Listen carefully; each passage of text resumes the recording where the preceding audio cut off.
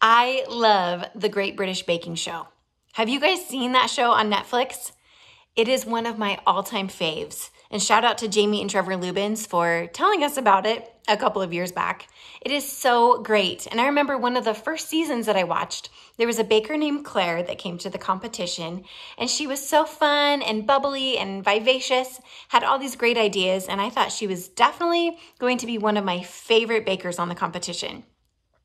Well, the very first task came, and the bakers were tasked with creating 36 matching cupcakes. They had to look exactly the same in uniform. And so she had this great recipe and ideas, but when she pulled her her cupcakes out of the oven, they were a disaster. They had crumbled, they were dry, some of them had oozed out of the tins. And so she had to salvage this mess, right? I mean, she had to had to make it work somehow. So she just dolloped tons of frosting and sprinkled so many sprinkles on top just to try to make it work.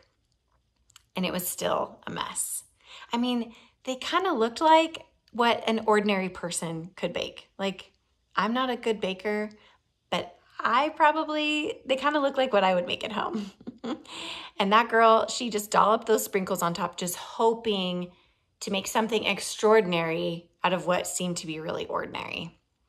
And I think about in my own life, I have dolloped so many sprinkles on myself figuratively to try to make myself feel extraordinary when I didn't always feel that way inside. I mean, in high school, in order to cover up insecurities or feelings of fear, and and to try to to feel really good about myself. I wanted to be an achiever and so i worked super hard for academics. And if i got a bad grade it felt like not only a, a bad letter on uh, on my paper but like it felt like something connected to my soul. I mean i let that let that have way too much power in my life. And I also, you know, I had this silly thing about wanting to look put together all the time.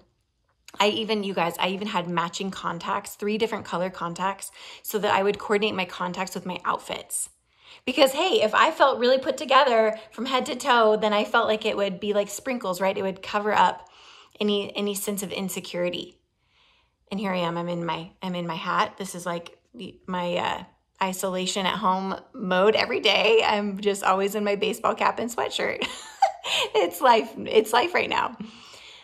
But you know, I, I think back on those those sprinkle moments, especially in high school, and I realized that I was trying so hard in my own power to like feel extraordinary and not ordinary. And it actually made me more lukewarm in my faith. I mean, I think people in my high school knew that I was a Christ follower, but my desire to make myself feel okay and not really as much relying on as the on the spirit as I should have and as much as the spirit was inviting me to you know I think that caused me to yeah just not be as mighty or courageous in my faith as I could have been you know in in the book of Acts in chapter 3 I see these these two guys and we read we'll read this right now Peter and John and they were not covered in sprinkles. they relied on the Spirit of God to make them extraordinary. Let's read it. So we find them in in this chapter.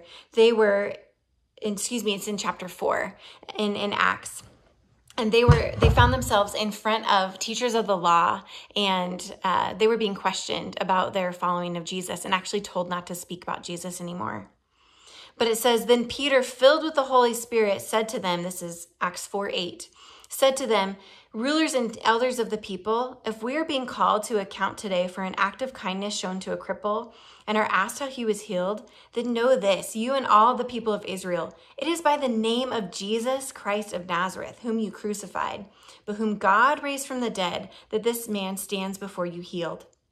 He is the stone you builders rejected, which has become the capstone. Salvation is found in no one else, for there is no other name under heaven given to men by which we must be saved. And when they saw the courage of Peter and John and realized that they were unschooled, ordinary men, they were astonished and they took note that these men had been with Jesus. I love it. See, these two guys were ordinary guys, it says. They were unschooled, they were ordinary in the eyes of the world, but their, their courage was extraordinary. The watching world, they were astonished at these men and the courage they displayed. See, they didn't get into that that tough situation with these teachers of the law and and tried to do something in their own power. They didn't try to be somebody they weren't. They didn't try to appear like they had it all together. They were just themselves. No sprinkles. They were just themselves. And when they were, that is when God shone through the most. I love that it says that the, the teachers of the law took note that they had been with Jesus. It was so evident to them that these men had been with Jesus. These ordinary men became extraordinary because they relied on the power of the Spirit and they had been with Jesus. And I think about that in my own life. And I think, is the are the people around me, is is the world aware that I have been with Jesus? Are my kids aware and knowing that I've been with Jesus? What about my spouse? Are the ways that I'm interacting online and on social media helping people know that I have been with Jesus? And and truly I need to take a step back and say in the crazy rhythms right now in our world or the lack of the lack of routine in many of our lives, including mine, am I being with Jesus enough? Am I making my time with Jesus a priority enough so that Him flowing through me is making a positive difference? See, it's really easy for us to pour on the sprinkles to, in our own power, try to engage the world well and to try to love people well. But we cannot be extraordinary in our love, extraordinary in our uh, faithfulness and effectiveness. We cannot be extraordinary by ourselves. But it is when we are simply who we are, even in our weakness, allowing for God to flow through us so that it's Him that is recognized by the watching world and not us. That is when the world is truly astonished. That's when our family members and our friends and the watching world, that's when they take note. And they go, whoa, something is different about that person. They are courageous. They are bold. They are compassionate. They have a heart for others. They love well. They listen well. And they're just an ordinary person, just like me. But there's something extraordinary.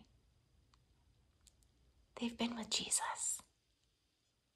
So, my friends, let's be extraordinary, not because we're trying on our own, but let's be extraordinary because we've been with Jesus.